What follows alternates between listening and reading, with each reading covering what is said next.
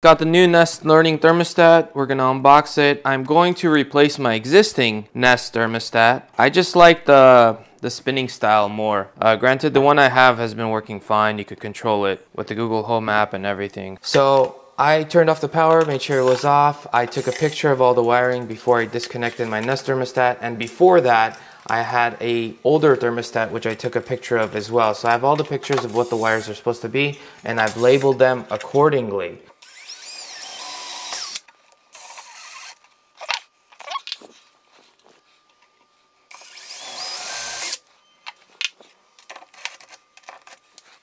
So these screws for me are more than enough, but I'm just going to put two more screws here and here um, just because I already have the holes and I already have the screws and it's, it's a perfect match anyways. So it doesn't hurt to essentially put these in. Alright, so now we're going to take the wires out through this hole.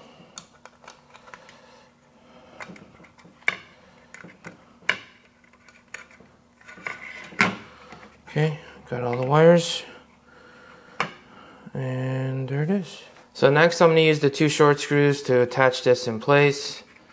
So again, let everything go through here. Make sure everything's leveled.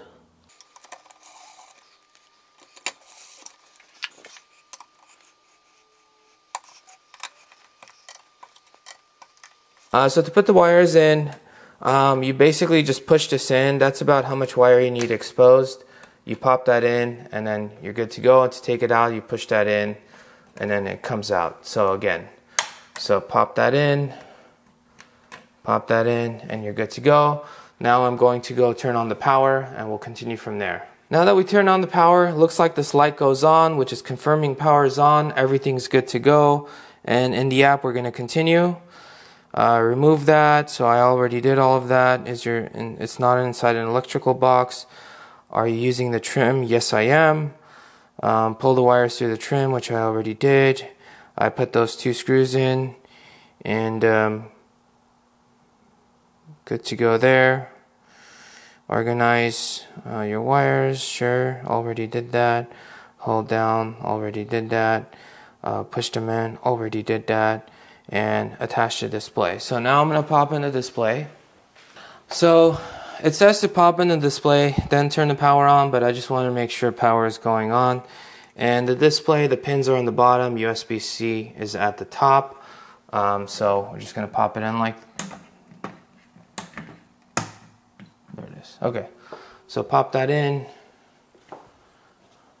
It, it says now turn on the power, but again, mine was already um, I had just turned it on just right before just to confirm that. Okay, so I'm gonna click next, it's gonna connect, and then we're gonna just set it up so it could connect to the Wi-Fi, and then I could just control it with my voice, just like I did with the other one. 12 seconds later. Alright, so now it says, what is your heat fuel source? I'm natural gas. Personally, I'm natural gas. Uh, forced air, in-floor radiant radiator, so mine is, happens to be forced air. Um, I do have a furnace. How do you want your fan to be controlled? So we could do it with the furnace, that's fine. Uh, which mode should you use thermostat today? Let's do cooling. So it says no Wi-Fi and I'll, I'll turn on the Wi-Fi so we should be golden. Later. Oh, I love that. Look how cool that is. I miss this spinning feature. With with my older one you would have to like slide with your finger here which is fine. Um, and the older one looks really nice too. In fact you could argue that the older one might even look nicer um, just because it's a mirror. It just it looks really cool. Um, but I just I just missed this like spinning thing because I had the older Nest thermostat. I believe it was the third generation and uh, I really liked it. But I was like, let me try the new one because it looked cool, and, and it does. Uh, but I'm like, you know what? Let's since the new one came out, let's try it out. Yeah, this thing is awesome. So um, you push it in. Its menus are very similar. So you got the heat, heat, cool, and Yeah, so heat and heat cool. So basically, that keeps the temperature cool. Only cools uh, if it's above that temperature. It cools until it gets to that temperature, and it won't turn off until it gets to that temperature, and heats the exact thing. Where heat and cool basically try to keep a certain temperature, whether it goes above or below. Um, that's what it's doing. So we're good with that. Uh, you push into select. You could do the hold. You could do the eco mode if you want to do that. You could do the fan, and then you could go to settings and lock the device, equipment, device settings. Um, so it's just, yeah, temperature, sound on, language.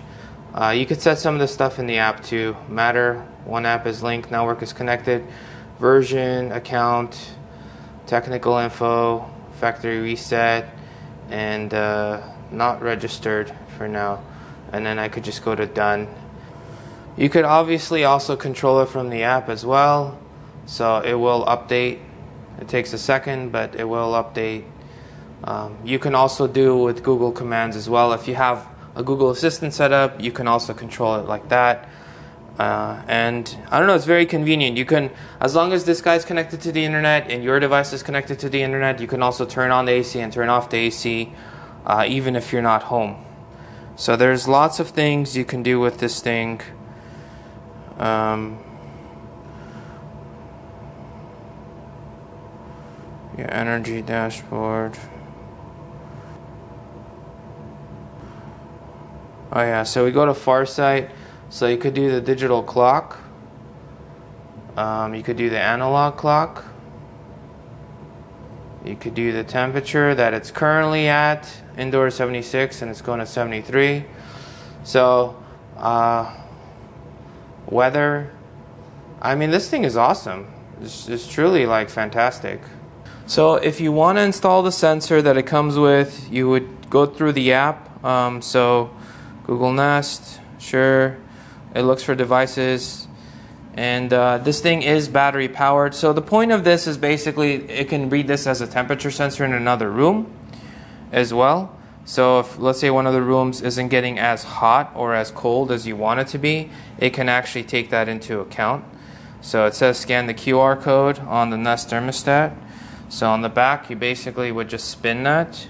I guess I did want to show you guys the battery as well. So that's the battery it comes with. It's a lithium CR two 3 volt non rechargeable battery, which I'm sure will last a long time. Rounded. So find the entry key.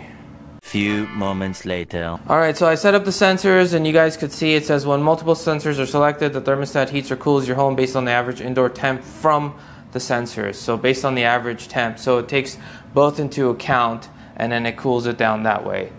So if you guys enjoyed this video, smash that subscribe button. I'll catch you guys in the next one.